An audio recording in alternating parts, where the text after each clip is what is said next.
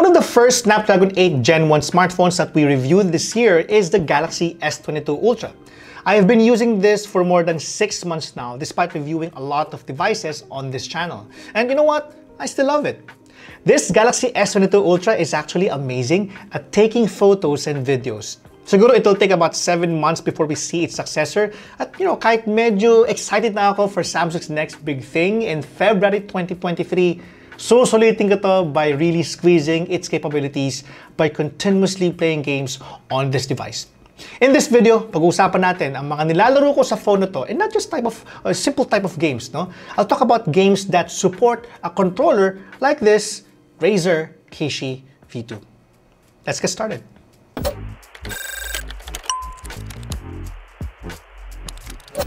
Alright, for those of you who are not familiar with this Galaxy S22 Ultra, this is packed with a Qualcomm Snapdragon 8 Gen 1 processor, 12GB of RAM, and 256GB of internal storage. Since the time I actually got this, uh, and with all the games and apps installed, this still has about 158GB of internal storage na available, at saka meron siyang uh, idle na 4.7GB of RAM. So far, hindi pa naman siya mabagal gamitin and I don't experience any performance hiccups while playing games. Now, as you can see, this Galaxy S22 Ultra fits perfectly on the Razer Kishi V2. I have a full review of this controller on our website with an attached Vivo X80 Pro, so you can go and read it out. Now, if you're a mobile gamer, performance matters, and this Samsung prepped this phone to satisfy you. So, kahit hindi ito marketed or advertised as a gaming smartphone like Nubia or ROG Phone 6 that I talked about a few weeks ago, this phone has gaming specific features tucked into it. If you search for Game Booster via settings, it has all the essential features to either optimize your phone so it can reallocate resources to speed up your game. Importante yan no, sa mga games that really push the phone to its limit. This feature gives you a specific uh, presets no, from performance down to battery saver. Alright, let's talk about the controller-supported games that I play on the Galaxy S22 Ultra. Let's start off with Stardew Valley. This is a classic favorite, and if you've been playing this on PC, where this game was first launched to, pwede mo na ma-transfer actually yung save uh, game mo no, to your Android device. It was actually surprisingly easy, actually. No? And uh, ginawa ko lang is I, I copied uh, the folder of my specific save from Steam uh, and transfer it inside Stardew Valley folder of this device. If you're looking for a farming and sim game, you'll never go wrong with Stardew Valley. I know that this isn't something that we will push no, the phone to its limit because kasi pixelated yung game, but this game is still enjoyable to play to say the least.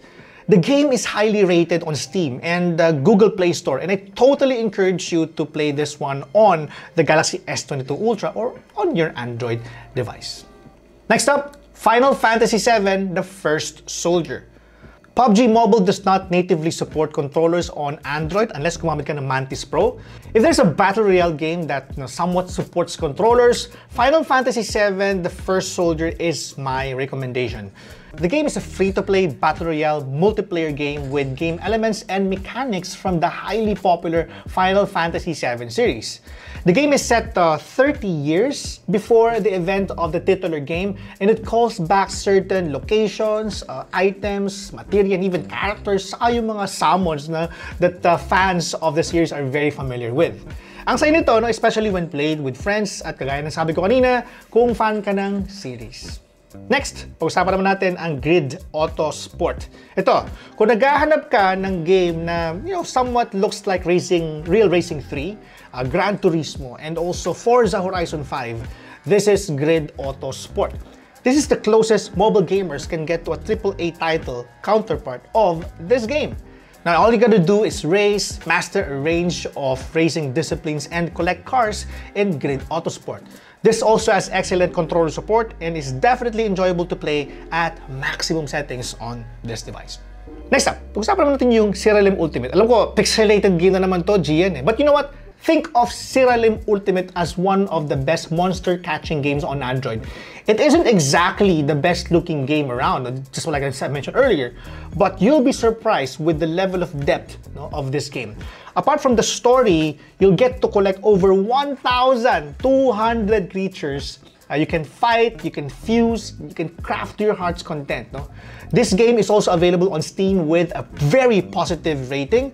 There is also cloud saving feature tucked into it, so you can always play this game on Android or PC anytime and anywhere. It's very easy actually to port your game from Steam to your Android and then back to your Android to your Steam. No? So that means you can really enjoy this game wherever you go. Alright, so lastly now, guys, we've got Streets of Rage 4. This retro beat 'em up game that was made with love is finally available on Android. The game works great on this device with or without a controller. Multiplayer will come very soon on this Android port, but it has been enjoyable to play on the Galaxy S22 Ultra. So, Ayun na nga, uh, undoubtedly, the Galaxy S22 Ultra is still a competitive flagship device that isn't just built for productivity and, of course, uh, for whatever you want to do, but also for gaming. Sobrang sulit pa rin talaga to, no? and if you happen to see one being sold via marketplace or if there's a postpaid offer from your telco or favorite telco of choice, this phone is still one of the best phones around. That's it no, for our video today. Let us know if there's any phone that you would like us to talk about. This has been Gian, and I'll catch you on the next video.